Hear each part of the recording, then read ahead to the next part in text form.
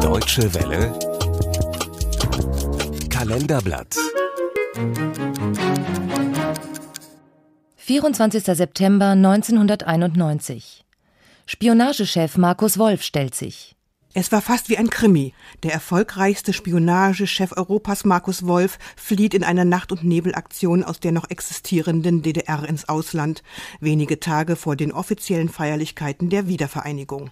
Seine Frau Andrea erinnert sich in einem Fernsehinterview an diese unruhigen Stunden und Tage. Wir wussten, dass am 3. Oktober also die Verhaftung stattfinden sollte. Und die Anwälte haben uns das empfohlen. Sie waren bei uns in der Wohnung und wir sprachen darüber. Alle waren der Meinung, erstmal weg. Also am 27. September sind wir dann mit unserem Auto, mit unseren Papieren losgefahren von Berlin übers Erzgebirge in die Tschechoslowakei und von da aus nach Österreich. Der Generalbundesanwalt in Karlsruhe hatte gegen Wolf einen Haftbefehl wegen Landesverrat erwirkt.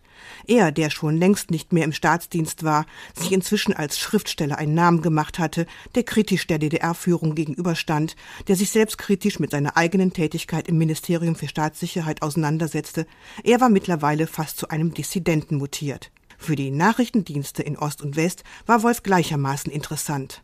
Markus Wolf über seine Flucht. Zur Sicherheit ist also der Sohn mit Andrea, mit dem, meinem Volvo, als Erster über die Grenze gefahren. Und wie das gut bin, ging, dann bin ich mit dem Lader, mit dem Schwiegervater, Schwiegermutter sind wir dann gefolgt. Ich hatte natürlich dafür gesorgt, dass Dinge, die mich oder andere belasten konnten, nicht mehr da waren. Aber es ist natürlich schwierig bei der Menge von Unterlagen und Material einzuschätzen, was könnte vielleicht doch von Interesse für die Untersuchungsbehörden. Wolf lässt sich einen Bart wachsen und narrt so die österreichischen Behörden.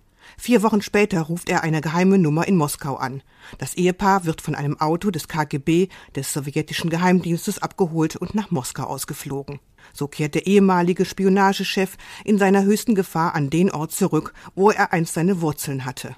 Nach einem Jahr Asyl verlässt das Ehepaar Wolf Moskau und reist wieder nach Österreich. Am 24. September 1991 stellt sich Markus Wolf den deutschen Behörden. Die DDR, aus der Wolf geflohen ist, existiert nicht mehr. Der Generalbundesanwalt lässt Wolf verhaften. Mit zwei gepanzerten Limousinen geht die Fahrt nach Karlsruhe und dort bleibt Wolf lediglich sieben Tage in Haft. Im Mai 1993 wird ihm in Düsseldorf der Prozess gemacht. Er wird wegen Landesverrats in Tateinheit mit Bestechung zu sechs Jahren Haft verurteilt. Die Strafe wird unter Auflagen ausgesetzt. Während des Verfahrens im Düsseldorfer Oberlandesgericht zeigt sich das Ausmaß des Spitzelapparates namens Stasi. Parteisoldaten, Abenteurer, Gesinnungstäter, Idealisten, Bundestagsabgeordnete, Romeos, Julias. Wolfsleute spionierten überall, in den Ministerien, in Behörden, bei Politikern. Prominentestes Opfer Willy Brandt.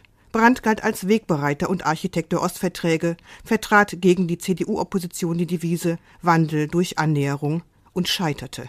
Er stürzte über Wolfs Maulwurf Günter Guillaume. Wolf im Rückblick. Ich habe es als politischen Auftrag der Parteiführung gesehen und darüber wird nicht diskutiert. Wenn man heute sagt, ja, aber das, wie kann man also freiwillig in einen Teil des Unterdrückungsapparates hineingehen, so wie es heute ja gesehen wird vielfach. Für mich war das damals nicht ein Teil des Unterdrückungsapparates. Das war ein Kundschafterauftrag, etwas, was ich früher aus Film und äh, aus der Sowjetunion als etwas ja vielleicht auch ein bisschen Romantisches und Wichtiges und Ehrenvolles sah. Wolf galt und gilt bis heute als schillernde Persönlichkeit.